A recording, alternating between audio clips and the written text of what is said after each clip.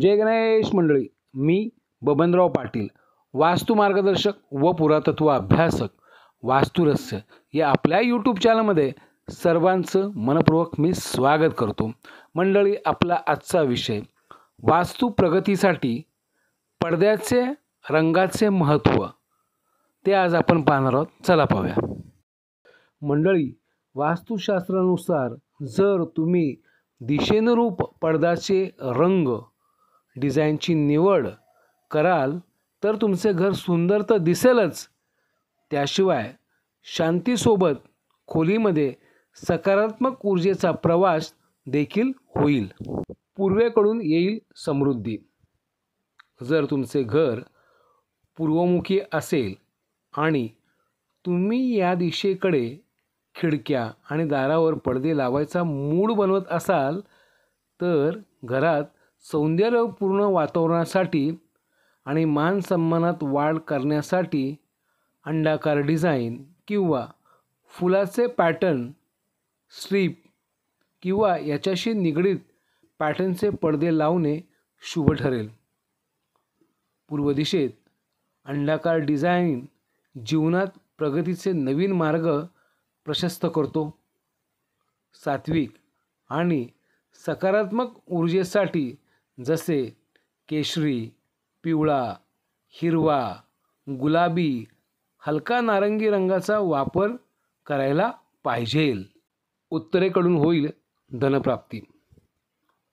उत्तर दिशेकडे बनलेल्या खोलीमध्ये लहरीदार किंवा जलतत्वाची निगडीत पडदे लावून तुम्ही तुमच्या जीवनात स्पष्टता आणि प्रगतीचा मार्ग मोकळा करू शकता.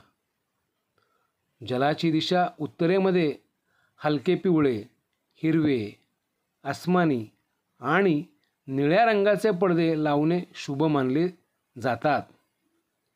या दिशेत या रंगाचा प्रयोग करून तुम्ही धन आगमनाची नवीन संधी मिळू शकते. करिअरमध्ये यश मिळेल. पूर्व पूर्वोत्तर आणि उत्तर दिशेत वजनाने हलके पडदे लावायला पाहिजेल. दक्षिण दिशेत आहे यश. अग्नितत्वाची. दक्षिण पूर्व दिशेच्या खोलीत त्रिकोण ज्याचा टोकदार भाग वर असेल किंवा याच्या जवळपासच्या डिझाईनचे पडदे लावू शकता. या प्रकारे दक्षिण दिशेच्या खोलीत सुंदर आयतकार पॅटर्नचे पडदे लावणे तुमच्यासाठी फायदेशीर सिद्ध होईल. या दिशेत पडद्याच्या रंगाची निवड करताना लाल नारंगी गुलाबी जांभळ्या रंगाचा वापर करायला पाहिजेल. पश्चिमेकडून मिळेल लाभ पश्चिम दिशेला सोनेरी आणि पांढऱ्या रंगाचा वापर करून गोलाकार डिझाईनचे पडदे लावले पाहिजे. पांढरे आणि सोनेरी रंगासोबत सेल्टी पिवळा भुरा हलका रंग जसा हिरवा हिरव्या रंगाचा वापर करू शकता. पंचकोन असणारे सुंदर पॅटर्नचे पडदे देखील लावू लावू शकता. या दिशेत तुम्ही अशा प्रकारे पडदे लावून तुमच्या जीवनात लाभाला तुम्ही आमंत्रण करू शकता. मंडळी प्रत्येक दिशेला कोणत्या प्रकारे पडदे लावायचे हे आपल्याला आता कळलंच आहे.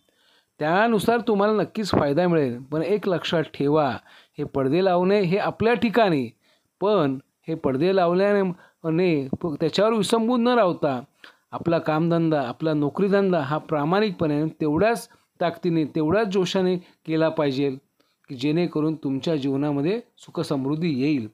या पडद्यांचा या रंगसंगतीचा नक्कीच माणसाच्या जीवनात नक्कीच प्रभाव पडतो पण कर्म हे केलंच पाहिजे. वेगळा विषय मांडला नक्कीच आवडला असेल तर लाईक करा शेअर करा. तसेच आमचे माहितीपूर्ण अभ्यासपूर्ण वास्तुशास्त्र आणि अध्यात्माचे व्हिडिओ पाहिजे असेल तर न चुकता तुम्ही आमचा वास्तुरस्त यूट्यूब चॅनल नक्की सबस्क्राईब करा. तुर्तदास इथे थांबतो. धन्यवाद. जय गणेश.